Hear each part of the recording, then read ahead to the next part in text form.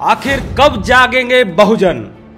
दलितों के अपमान का जिम्मेदार कौन? दलित या सवर्ण, कौन है ज़्यादा दोषी? मंदिर में घुसने से दलित दंपति को पुजारी ने रोका। राजस्थान के जालौर की है ये घटना। यूँ तो समय समय पर उन दलितों को खुराक पानी मिलती रहती है और मिलनी भी चाहिए। जो खाते तो खसम का है और गीत पियर का गाते हैं। अर्थात सीधे शब्दों में कहूँ तो जो भी कुछ ठीक ठाक समय पर खाने, पीने, ओढ़ने, पहनने, शिक्षा, स्वास्थ्य और नौकरी, रोज़गार में, पिछले कुछ वर्षों से दलितों ने जो प्रतिनिधित्व प्राप्त किया है, वो भारत के संविधान और बाबा साहब के संघर्षों का ही परिणाम है।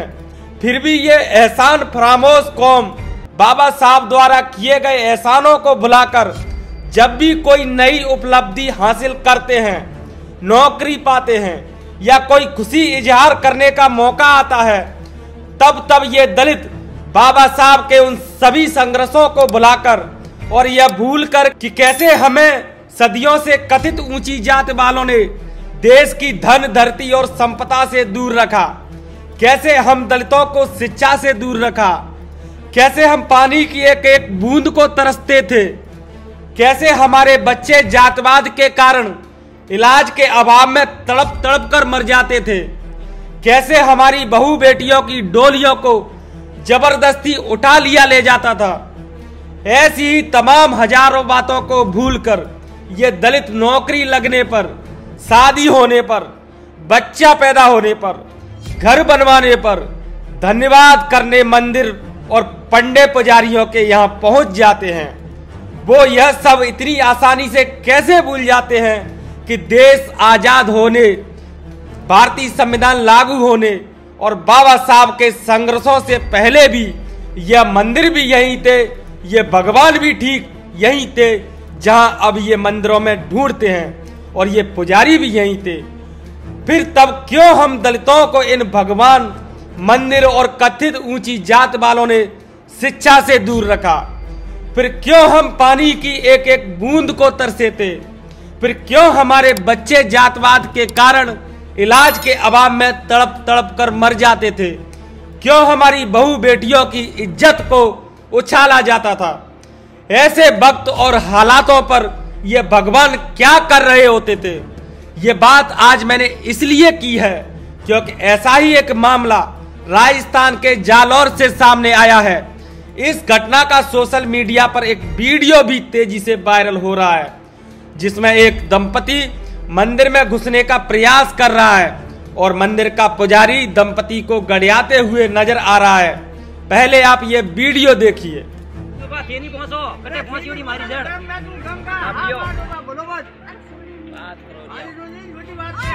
क्या बोल।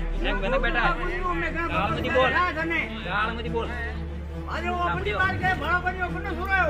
એ ઘેર સુધા ગાળ નથી બોલ એમ મને બેટા ગાળ નથી બોલ ગાળ નથી બોલ કોઈ બી નિયમ ભાઈ ઠીક હે ને એક્સ વાય ઝેડ ભાઈ બટા સડાવતા ભાઈ પણ એટલે અમે તો મેં બે સડાવો ના સડાવો હા ગાળ ખાલી સભા કરે ઓકે આ તો સભા કરો એ એ ભાઈ અમાર અમારે યાર મોટિયારો બરાબર જો થોડું સન્ને તો वो तो है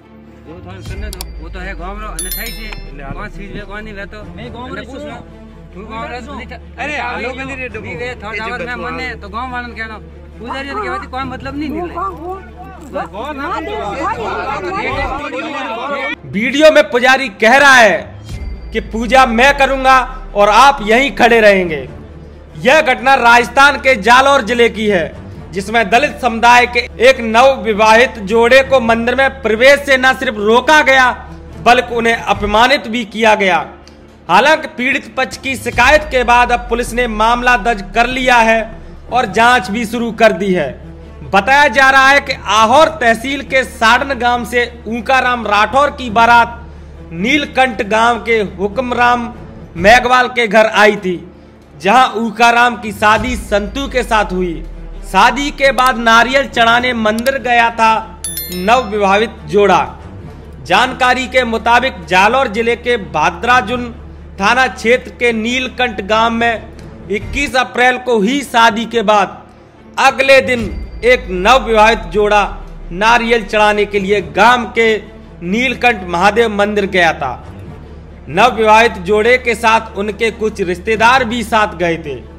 बताया गया है कि जब नव विवाहित जोड़ा मंदिर पहुँचा तो मंदिर के पुजारी ने उन्हें मंदिर से बाहर रोक दिया और दूर से ही नारियल चढ़ाने को कहा।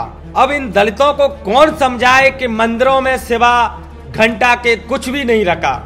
क्योंकि अगर मंदिर में बैठे भगवान में थोड़ी सी भी शक्ति होती तो वो भगवान तुरंत पुजारी को भस्म करके अपने भक्तों को मंदिर ज़रूर बुलाता।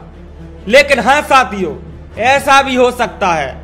और दूसरी बात, मैं भगवान पर भी यह आरोप लगाऊँ कि भगवान में शक्ति नहीं होती है तो शायद भावनाओं की खिलवाड़ का हवाला देकर कहीं मुझे भी जेल में न डाल दिया जाए। इसलिए मैं इस बयान को वापस लेता हूँ कि भगवान में शक्ति नहीं होती है।